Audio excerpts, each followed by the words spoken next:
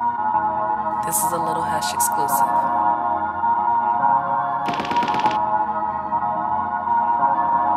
Hash, hash full on the beat.